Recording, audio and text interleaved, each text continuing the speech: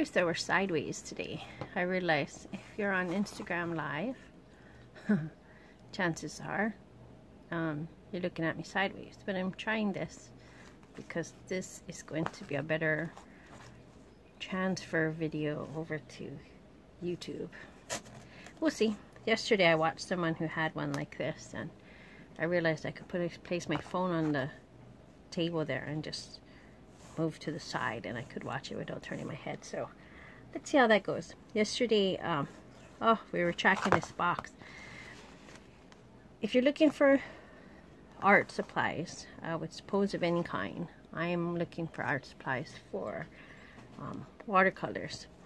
So I have learned that if I order from Jackson's at jacksonart.com, um, if you just order brushes, I believe their their deal is just brushes um, will ship for free.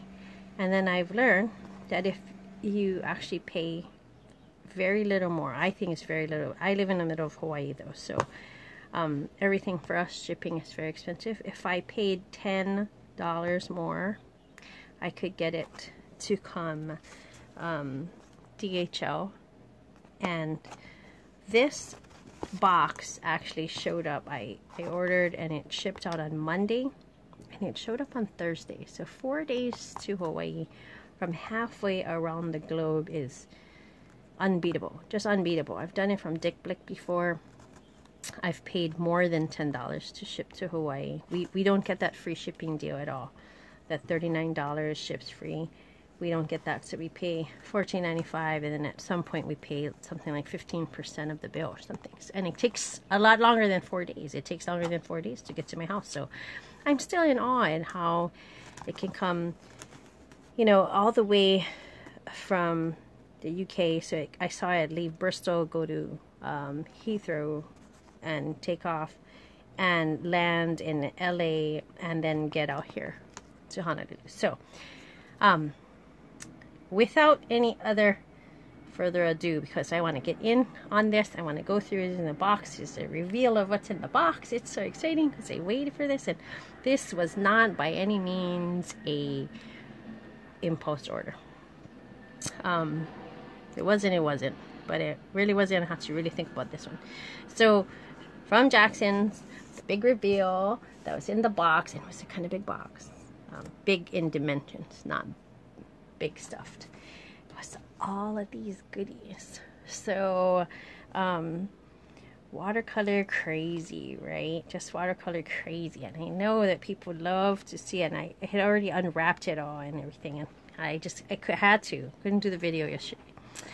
So I went back to my old, my old friend Holbein. I learned in Holbein, um, my very first set was koi watercolors. I made my first painting out of koi, and then my very next, or my very first artist, um, one was Holbein. So I went to Holbein Royal Blue. I haven't had Royal Blue yet, ever. Remember now, I'm collecting blue paint. That's my excuse, right?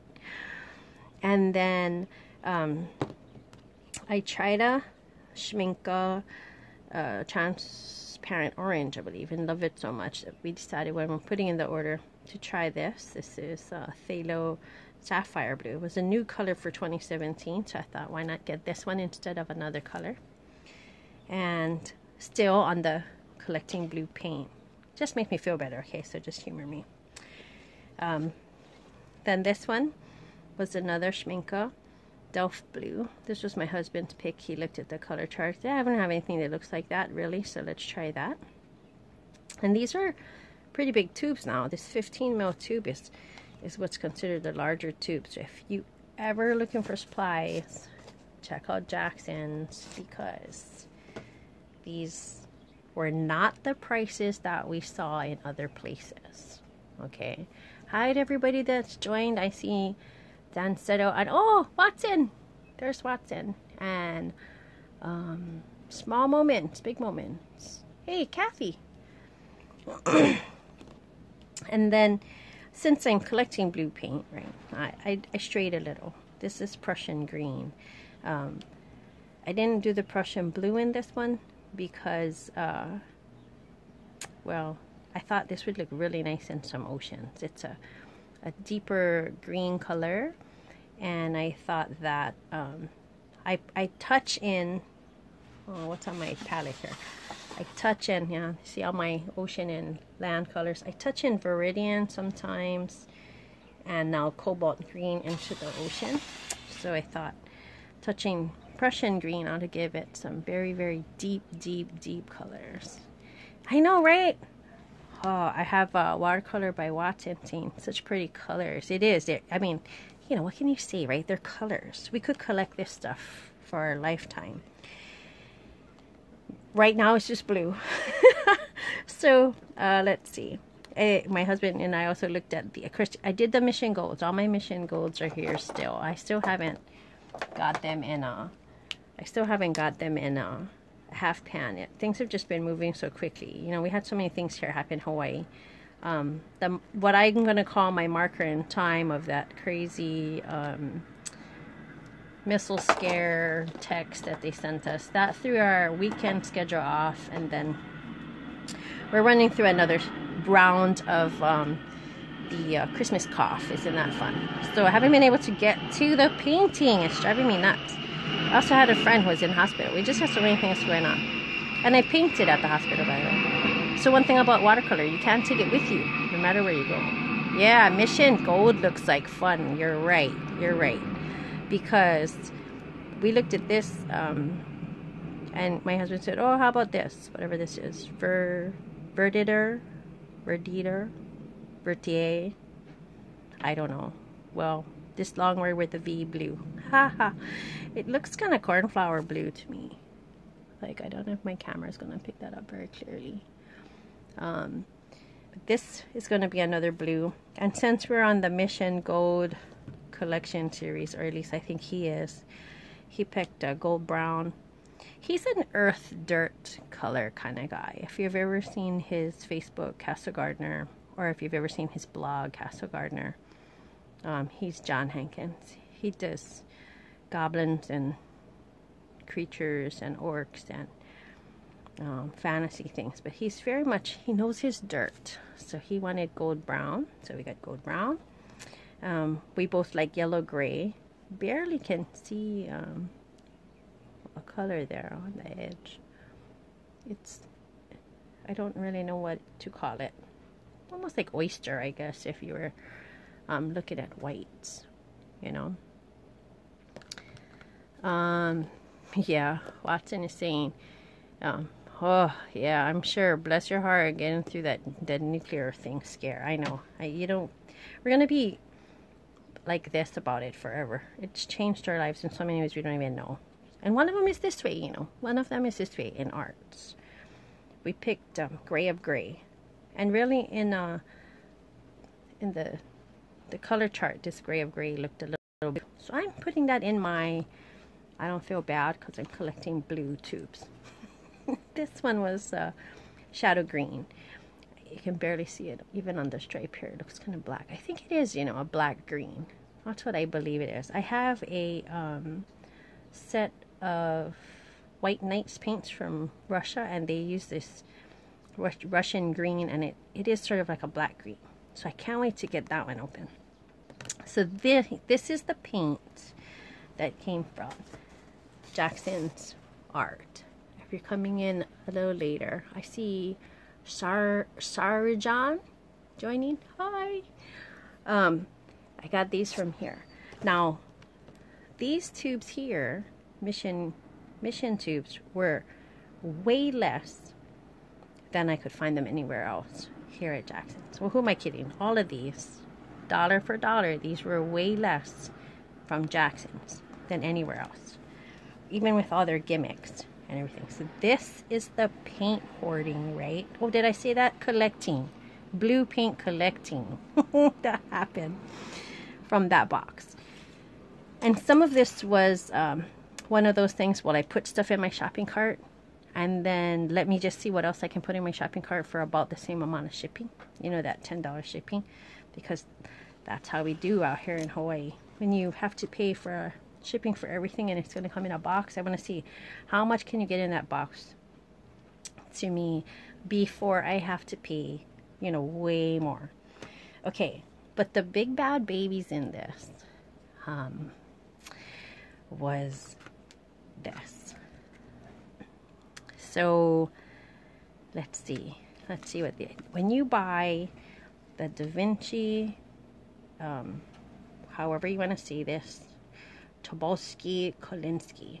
I took two years of Russian. Okay, it didn't work out very well, but um, I know how to see the the good things. You know, the things like I don't speak Russian, I don't understand you, and I only speak English. I can do those. but if you buy this Da Vinci, da Vinci and you get this Maestro, um, it is a great, great, great Kolinsky brush. And I got the first one, which was the the um, 10 35 the 35 series, a round pointed. Let me see if I can get it out. And it came on a card like this too. It was glued down a little. And they give you this long um, introduction and a history and what you should do to take care of it. And they give it to you in several languages in case you're bilingual, which unfortunately I'm not. I guess it could be. I'm I'm pretty proficient in pidgin English. That doesn't help us too much in writing. But I have the round brush of this and I decided I loved it so much. If you are watercolor painting, okay, I understand about you know conserving the money for different things. We'll do another video on that. But I'm telling you, I, I couldn't believe it. It was a splurge to buy the other brush.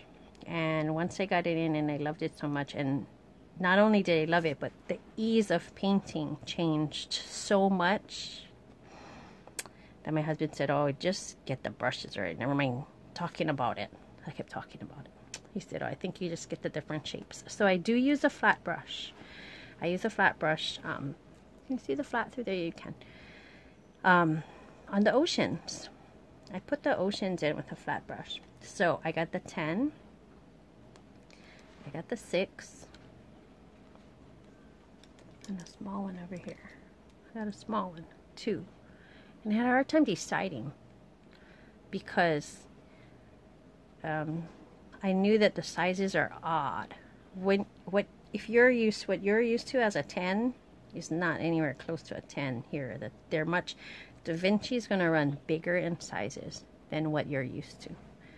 Um, so I got the flats. So there's the flats, and of course I had the round in a 10 and I started tried to paint some smaller things and I just couldn't do it with a 10 because I like to mush my brush down and flick it.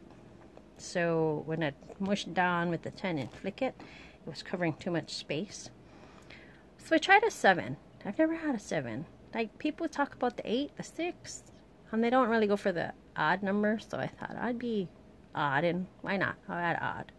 So I went for the 7 this is the 7 and, you know, compared to my fingernail or something, you can see it's still really big, right?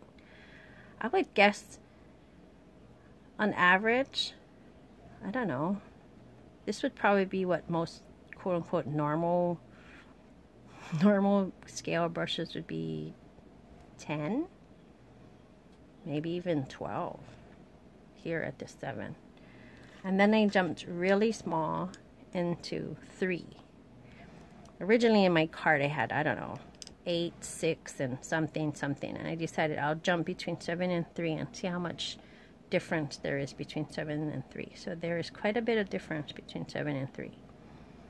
So now, of course, you know, right? 5 may have to be added to the family. But uh, if not, 3 is going to be working hard here. And then I do a lot of gouache work with a tiny, tiny brush and I decided to go for one. I had a two in my cart, so I'm glad I went one. So I went into one so that it makes it a little smaller. Here, if you can see that against my fingernail. It's still pretty large for one. I would guess that's almost a two brush, maybe even a three that I'm used to. I, I paint acrylics too, so in my acrylic brushes, I would expect this to be a three. And what I'm looking for, I guess, is more what normal, what I would call normal an acrylic brush size would be almost like a, I don't know, 3.0 or a double. So this one is more like a 3. but I think I can still do gouache with this.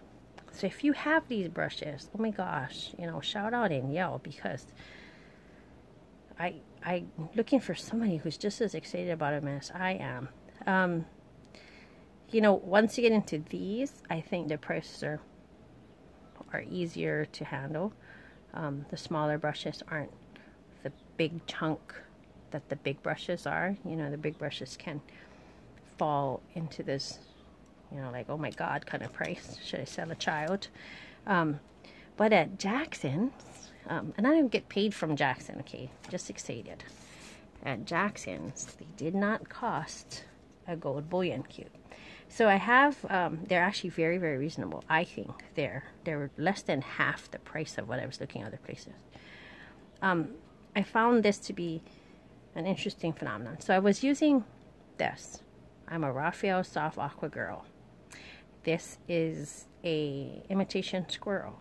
Okay, so why why did I start with this? In July, I was in Oregon and we went to this great store, and I walked back past this display and I just fell in love with what they look like. I haven't the rest of the set in the other room. We'll do a video on that too, maybe.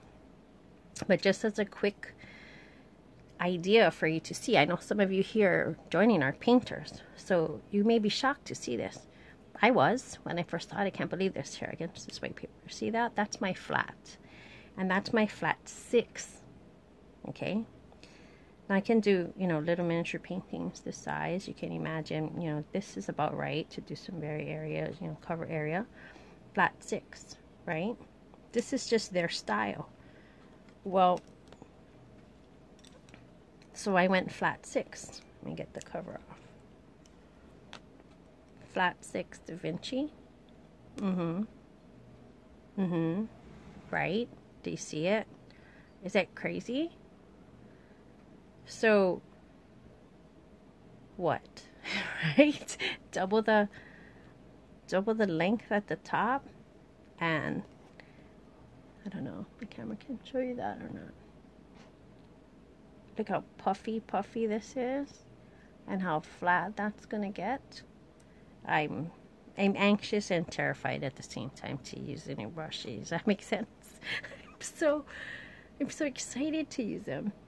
But at the same time, I think, oh, I gotta relearn how to paint all over again because can you see what I mean by I've been quote unquote maybe struggling with trying to get this into a thin um, a thin line, get it to do what I wanted it to do. If this is, you know, going to be that, so you can see how much more smoother that's going to be once you get the paint on it. Anyway, this was not supposed to be a comparison video. This is just what's in the box, what's in the box. Okay, so that was in the box. We'll talk more about these. I have a plan for my soft aquas. I feel like I've abandoned them and they they have feelings, but they don't have to pretend that they don't. So this is the haul. So this was a this was a really tough um, order to make you know, limited funding, you're deciding what's what you're going to get best for your buck. Um, I stayed with uh, the 35 series. Um, I have re- I have total reasons. If you disagree with me, by all means, you know, message me. If you have questions, message me. If you want to know why I feel so strongly on this, let me know. I mean, I've heard so many of the gamut. You know, do with what you can, and maybe your style doesn't fit this and that, but I'll I had a great friend. I have a great friend, Jin He, who's um, here also on Instagram. I asked her before I bought. I said, "Can you advise me, help me um, make a decision whether I should or I shouldn't, which one I should?" And I feel that if you're in that spot too, I'll help you. Um, you know, we can talk about what you're using now and what your style is, and see if these are good for you or if something else is good for you. Um, you just don't know how much you're struggling until you're not struggling anymore. So for me, this worked. This was in the box. This is the bad boy. This was the reason I made the order.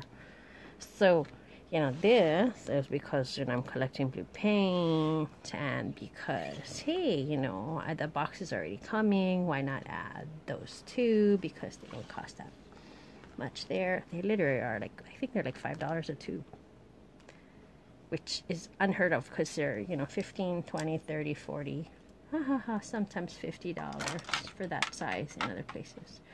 I put the brushes up there, move this off, and then this big bad boy. I don't know if any of you have ever used Artistico traditional um, white, 100% cotton Fabriano watercolor paper. Okay, this is a block. I haven't opened it yet. Um, I'm anxious to try it. I want to try it. I, by mistake, or whatever you want to call it, got one sheet of Fabriano paper when I was in Oregon, and I painted on it, and I was like, "Oh, this is great paper," and I thought it was, I thought it was an Arches paper. And when I finally got down to where this part was, because you know I'd taken it apart and torn it up, um, I was very pleasantly surprised. I, oh, this that's not bad, and I didn't think about it too much. And then I got a sample pack from again my great friend on um, Instagram, Jinhee. She had a sample pack that came out to me, and I made four um, of my beaches in a bottle out of it. And I realized, wow, the paint, you know, the paint absorbs through it. It spread the way I wanted it to. It it was just performing. So I was very impressed with it. Then I read an article.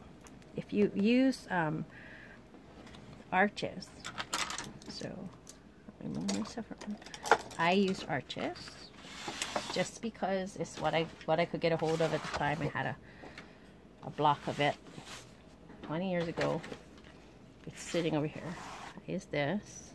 I have three different after hoarding one or saving one for 17 years, I got two. Okay, so now I have three. So don't be saying, oh, look at her, she got all kind of stuff. I have saved one pad, literally, for 17 years. And this year is the year of I'm not doing that. I think 17 years is a long time. I'm going to use them all. I was using the arches. And every time I put the paint down, I was thinking, wow, I wonder if my paint's good because I could smell this smell. And then and the smell is like, I don't know, it's just kind of stinky. It's a stinky smell. Like, I don't know, old socks, old shoes. And I thought the paint was, you know, rotted or something weird happened to the paint. And then I read an article somewhere, I don't know where, so many places, that Fabriano um, does not put animal sizing, animal products in their sizing. And that means no stinky paper. So I am going to give it a try with this and and their block paper. And if we had some kind of smell-o-vision, I guess I could sample that off for you. But I will definitely be reporting on the stinkiness of the paper. So I did not notice any funky smell when I did the samples on the sample paper in little circles. It was all good, no stinky smell. So I'm hoping that with this, I'll let you know. And with this one, I bought, I got this. Do you see this? 12 by 18 in this one. 12 by 18. This is like getting two, right, of the 12 by 9. So I had a 12 by 9 um, in my cart and I threw it out and I just got this one. I thought, if anything, I can take the sheet off and I can cut it. And see, I'm still, I'm still, you know, I'm still being very frugal, frugal with it. But I thought, well, the 12 by 18, I get two 9 by 12s. I'm going to try it on the block. I can tape off the section of the size that I want, and I can use the spare part of the paper as my um, my test paper if I want. That was an idea too. And I also want to throw paint and water on this and watch and see how the center buckles. I mean, it's so large now that this could buckle in a wave. Um, don't kid yourself because arches buckles in waves. People talk about that, blah, blah, blah, blah, blah. 300 pound paper does not buckle in a wave. 140 pound paper, I'm starting to believe, whatever brand, you will live with some undulations. And it just depends and depends on so many things your environment, um, you know, your environment, the way you paint, how much water you put. There's so many things, just too many things this is what was in the grandiose box. So again, this this was a pretty good price. Not the best price ever. This pad from Jackson's, not the best price that I could find in the US or that I could find to come to me, but the box was coming anyway, so I threw it in there. These brushes, best price ever that I could find. Jackson's. I'm not a Jackson's promoter, although I can't guarantee that I won't be in the future because that's how strongly I feel about this. I'd like to contact them and see what kind of offers they have for websites and stuff. Um, and my paint is in there. So our paint will be on display. Feel free to ask me about any of these. Um, best prices that I found ever, Jackson's. Um, if you're curious about any of it, shoot me a message. Ask me your questions. Um, tell me what it is that you've experienced. Um, let me know if I can help you because, like I said, there are people along the way here. I had to ask questions about some of these before I I went ahead and pressed the button. I just didn't show up and click, click, click, and I made a guess. So if you have any questions about these, please feel free to message me on Instagram here. If you find me on YouTube, you can message me there. Um, just Google my name. I'm everywhere, so you can get in touch with me. I'm glad you guys all came today. I'm so happy to see all of you. I'm so excited because I look at the names on here and I I know most of your accounts and I know what kinds of things you have posted. So I'm super excited because I think these items here that you know I'll be working with and I can show you maybe you'll be working with too soon and we can you know exchange what kind of great stuff we're making. I think all of your guys' work is just beautiful. I've seen so many of the the names here scrolling and I've seen your work and I love it. You know, I'm I'm I'm struggling along and working up. Well, we'll see. This was the Jackson's box and then I'll take this all apart and let's get swatching between this and the previous box. You guys, you guys are great. Thanks for joining. I'll see you later. Bye. Bye. Let me know when you're on live too. Bye.